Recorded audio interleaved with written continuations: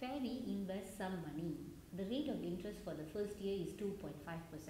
When you are reading at this point, you might not feel that you are quite confident. Why? Because you don't have an amount for this money. The question only says some money. So if you want to make your life easy, you can start making an assumption. You can say maybe Feri invests $100. Why did I pick 100? Because 100 is easy when you are calculating percentage. Initially when you started you had 100 but then the interest rate is 2.5% for the first year. So what is the amount you will be having now? It's 102.5. If you choose 100 as your initial value, then it's easy. Let's say if you're choosing 990, of course it's going to get more difficult. But your final answer will exactly be the same. Okay, for those who are unsure how I got this answer, what I'm doing is I take the 100 times by 2.5% and then I add this with my original amount which is the 100 and this should give me the value. If you are not uh, if you find this a little lengthy, you can use the multiplier 100 times 102.5%. It means you are taking this as 100% and you add the 2.5%, it will give you the 102.5% directly. Okay, now we go back to our question. Now what is happening in year 2? They are saying at the end of the second year, the overall percentage increment is 6.6. What is the meaning of this overall percentage increment? It means you need to look from the start to what you are having now, the current. So I am having an increment of 6.6%. Can you find what is this value now? Isn't it easy? I know you can easily write it as 106.6. You know the overall growth from the start of your investment of 100. Now, question 1 is to calculate rate of interest for the second year. So it means you need to look from year 1 to year 2 only. So how do you do that? You just use the percentage formula where you take your current value, you minus your original amount divided by your original times by 100. In here, what is meant by original? Original means the year 1 value because you are studying for second year, the rate of interest for the second year. So I will do 106.6 minus 102.5 divided by 102.5 times 100 which will give me 4% increment which is your second answer I mean which is your answer. Now if you are using shortcut maybe at school they might have taught you this idea if it is uh, 6% then you can easily write this as 1.066 this is your multiplier from your original. You, they will always do the multiplier as a shortcut. What is the multiplier over here? It is 1.025 so generally what you will do when you are finding for the second year you will do 1.066 divided by 1.025 what will this give me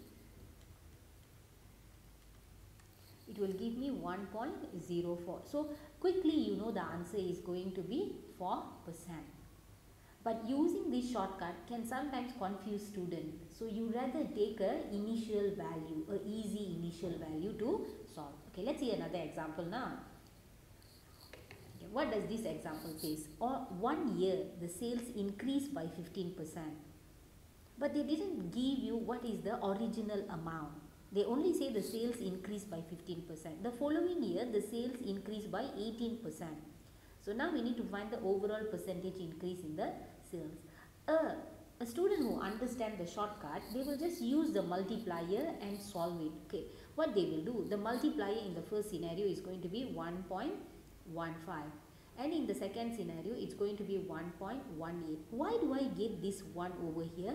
Because your original amount is worth 100% so 100% in decimal is 1 now you are having extra 15% so what is 15% in decimal? 0.15 that's why when you add up you are getting 1.15 so to quickly do this many students will do 1.15 times 1.18 which will give us 1.357 and then they will remove they will remove the one the original amount which is the 100 percent. And it will give us 0.357 when you convert into a percentage because we want the overall percentage you can write it as 35.7 which is your final answer. Now, this work, this method works for those who understand the multiplier concept. But how do I do this without uh, trying to understand this multiplier concept? You just take a value and start doing. Let's say you begin, you start with an amount which is 100. So the sales is increasing by 15% now. So what will happen if the sales increase by 15%? Then you will get 115. Correct? Okay, maybe I should not put year 0 and year 1. It's just one year. Okay. The following year the sales increase by 18%. So what will you do? You will take 115 and then you will times by 18%. You will add up the 115. Okay. How do I get the next value? Like in here, from 100, how did I get the 115? It's also same like the multiplier. Because you are using 100, it becomes easy for you now. For those who don't understand, you do slowly. 100 times by 15%, it will give you 15. So your original value was 100. Then you add with the 15, you will up with 115. Now, how do I do for the next one? The next one, I'm going to do 115 times by 18%. I will take this amount, then I will add with my 115. If you don't know the multiplier concept, then you can do it like this. You will get 20.7, then you plus with 115, that will give me